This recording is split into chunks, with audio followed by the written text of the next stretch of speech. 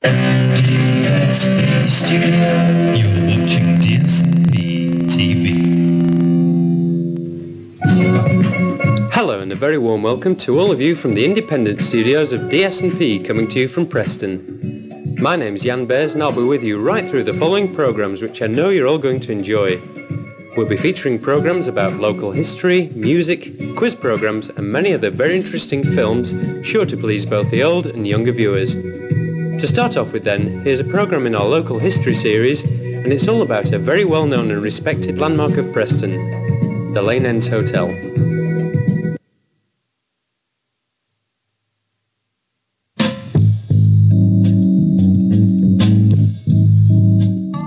Preston in Lancashire with its miles of docks along the River Ribble.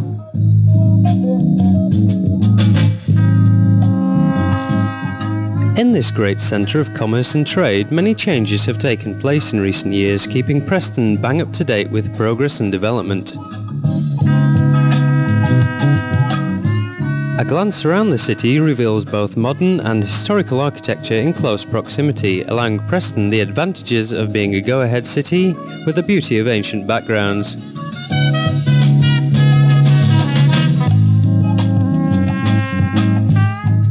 The historical architecture is very prominent, with many impressive mill buildings which reflect the bygone days of the Industrial Revolution.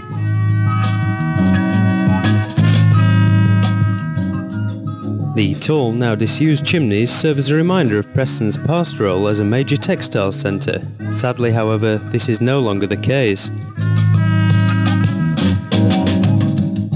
With the advent of modern road building techniques, Preston now stands at the centre of a wide network of motorways and major roads, making the city possibly the most accessible in the northwest of England and placing Preston on a par with other major cities like Liverpool, Manchester, Leeds and Birmingham.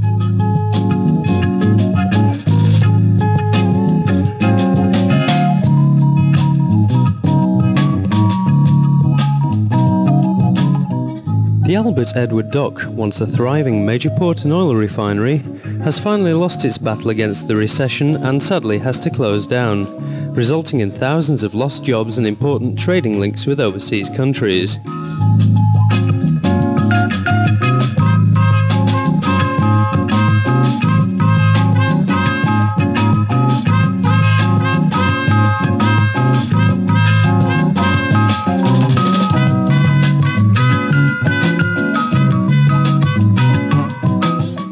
It is a relief to note, therefore, that in these hard times, pleasure and enjoyment have up to now remained unaffected. And with this in mind, our story now takes us to the intersection of four busy major roads of the city, where good times and companionship have always been the order of the day.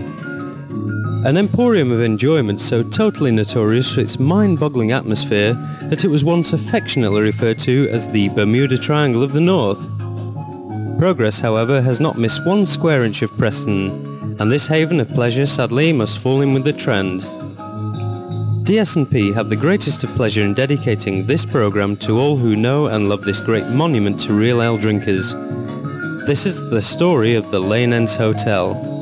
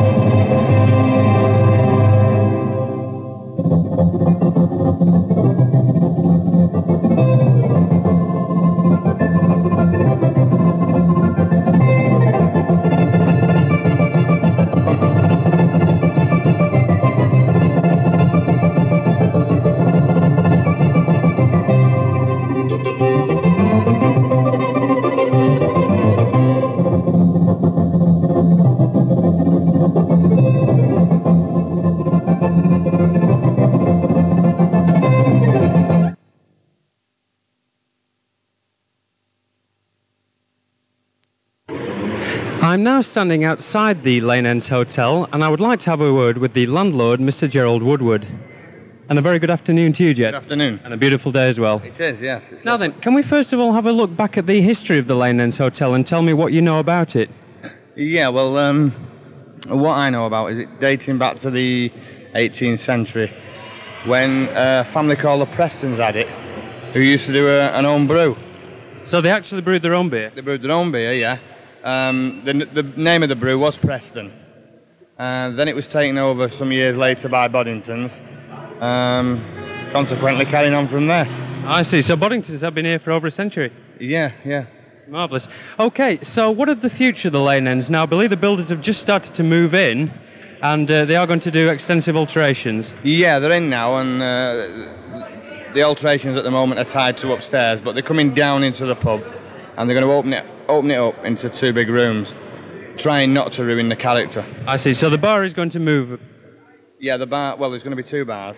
One in the position it's in now and one further up the up, the pub itself. I see.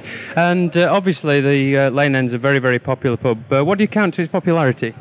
Well, Boddington's beer and good management. Well, it's very, very clear that this is happening all the time. Well, Jed, we wish you all the very best for the future. Uh, we'll go and have a look inside, shall we? If you will, please. Yeah, thanks very much. Thank you, Jed. All the best. Bye. Okay, now down in the beer cellars, Jed. Uh, now then, how many pints of beer do you keep down here? Uh, well, that's an hard question. Okay, how many barrels? I keep uh, 28 at a time on stillage. 28 barrels? Yeah, that's- How many of that's bitter? Uh, it's all bitter now. It's all? Yeah, we've, Ah. we've, we've decided not to sell any more mild. We're just selling Why's that? Well, there's not a great demand for it, so what I was doing was taking up still, stillage space for a couple of barrels of mild, Yeah. where I might as well have the bitter on, you see, with Yeah, there being fair a demand for it. Smash. So there's 28 barrels There's 28 in the cellar at any given at time. any yeah. time. Yeah. That's marvellous. So how many pints in a barrel? Well, then you work it out, you've got 244 pints to the barrel. So there's a lot of pints So of beer. Awful lot of beer being Smashing. And of course it's very cool down here as well. very cool, yeah. I Um, can hear a sound of a fan or something. Is that the cooling the system? coolers, yeah. It's actually it's a very very good cellar.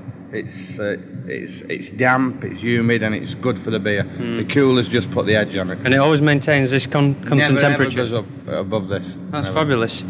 Um, and what about the lager? Is there any lager down here? Yeah, well? lagers over in that corner. It's um, it's not like Boddington's. Boddington's is, is traditional ale. Lager's just straightforward uh, That's- CO2. That's a keg, So, isn't yeah, it? you can't do any you can't do any harm to that. You're just stuck in the corner and you use it and put a new one on when it goes. Now, are there any proposals to change any of the cellar down here? Yeah, this is going to be as it is now. There's one cellar there, one behind you, Yeah. and one over to the left there. That's three cellars, which are all going to be made into one big one, I see. which I should be able to hold double the amount of beer.